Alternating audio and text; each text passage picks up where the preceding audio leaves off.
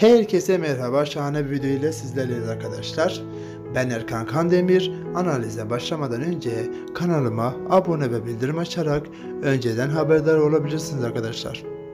Vuslat 43 bölümde fragmanda neler olacak? Fragmana başlamadan önce arkadaşlar Vuslat final olmasını istiyorsanız kanala ab yani kanalı beğenerek sayımızı hep birlikte görelim ve analize başlıyoruz. Babasının demir parmakları arasında bırakan Feride'ye de bir türlü ulaşamayan Aziz, Kerem'in çağrısıyla Holding'e gider. Kerem Aziz'i Holding'de neden çağırdı? Aziz Holding'e geri mi dönecek? Yaşadıklarının ağırlığıyla Aziz'le konuşacak.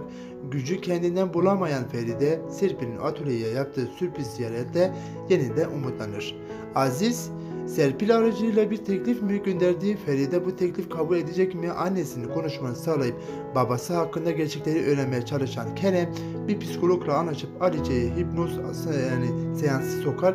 Alice'nin hipnoz etkisiyle söyledikleri ne anlamına geliyor Kerem babasının yerini öğrenebilecek mi? Aynı gece bir yanda da minyatür sınırını çözmeye çalışan Aziz, diğer yanda atölyede hummalı bir çalışma içine girer. Feride o gecenin sabahını iki aşağı bekleyen kötü sürpriz ne? Aşkları için hak ettikleri dualar karşılık bulacak mı yoksa kötü huy güzel huyla karşılık gelip yani gelip mi gelecek arkadaşlar? Yorumlarda bekleriz arkadaşlar. Ve videomuzun sonuna geldik. Ee, siz de e, böyle videolarla önce de haber almak istiyorsanız kanalıma abone ve bildirim açarak önce de haberdar olabilirsiniz. Kendinize iyi bakın.